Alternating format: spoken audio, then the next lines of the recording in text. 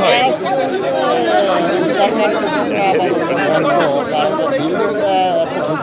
গতকাল সাড়ে চারটার সময় বিকাল সাড়ে চারটার সময় এটা একটা স্যানিটারি মার্কেট ছিল যেখানে বেশিরভাগ নিচের তলায় বেশিরভাগ দোকান ছিল স্যানিটারি একটু চুপ করেন না। টোটাল এই সাততলা বিল্ডিংটির নিচে বেসমেন্টে এক্সপ্লোশনটা হয়। এক্সপ্লোশনে আপনারা জানেন সতেরো জন ব্যক্তি প্রাণ হারান এবং নিচের বেসমেন্ট এবং নিচের তালার যথেষ্ট পরিমাণ ক্ষতি হয়েছে। বিল্ডিংটা এখন মানে প্রকৌশলীদের মতে এটা ঝুঁকিপূর্ণ ইমারতে পরিণত হয়েছে। মানে যদি এখানে আরও কিছু লোড কোনো ক্রমের পরে তাহলে হয়তো এটা ধ্বংস হয়ে যেতে পারে। সেই জন্যই এখানে যথেষ্ট প্রিকশন নিয়ে পরবর্তী কার্যক্রম করা হবে, এই ধরনের সিদ্ধান্ত রয়েছে।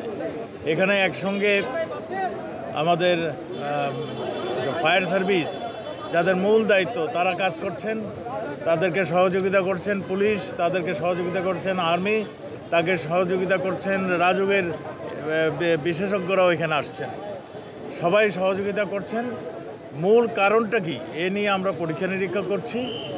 আমরা পরীক্ষা নিরীক্ষার পরে আমরা সিদ্ধান্ত নিতে পারব যে মূল কারণটা কেন এই এক্সপ্লোশনটা হয়েছিল। আমরা মনে করি যে এই ধরনের ঝুঁকিপূর্ণ, এই ধরনের ইমারত করার আগে আমরা সবসময় বলে থাকি যে ফায়ার সার্ভিসের ক্লিয়ারেন্স কিংবা এই ইমারতের ক্লিয়ারেন্স না নিয়ে কেউ যেন এই ওটাকে ব্যবসা বাণিজ্য কিন্তু ইসের না করেন। এইগুলি মেনে চললে আমার মনে হয় এই ধরনের মানে ঘটনা, দুর্ঘটনা থেকে কমে যেত।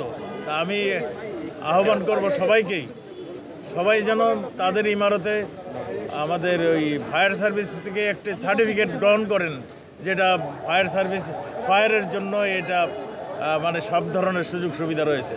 Thank you